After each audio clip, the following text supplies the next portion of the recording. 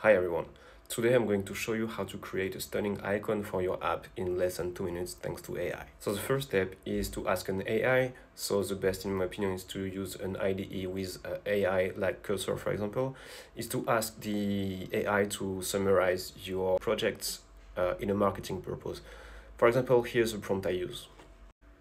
For example, here I added the SRC uh, folder in Cursor chat and I ask analyze my code base and generate a description of my app for marketing purpose. It will be displayed on the public page of the App Store and the Play Store, publicly visible. And here's the description uh, it has given me.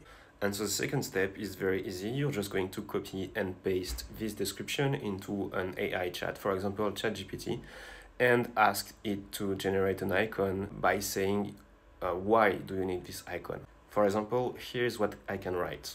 So I write a quick uh, text explaining that I'm a developer, that I need to generate an icon. I say why. I give a few uh, rules to generate the icon, and then I just paste the description. I press enter and I wait. And here's the result. So I'm quite satisfied with this one, but you can uh, uh ask ChatGPT or any other AI to improve it. For example, I said that I want it more simple, minimalist, modern, and I had another version, which to me is fine as well. I'm not sure I will use any of these ones. Maybe I'll try again or with another AI, with Grok or whatsoever.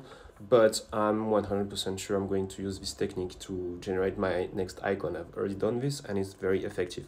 So guys, try out and tell me how it works for you.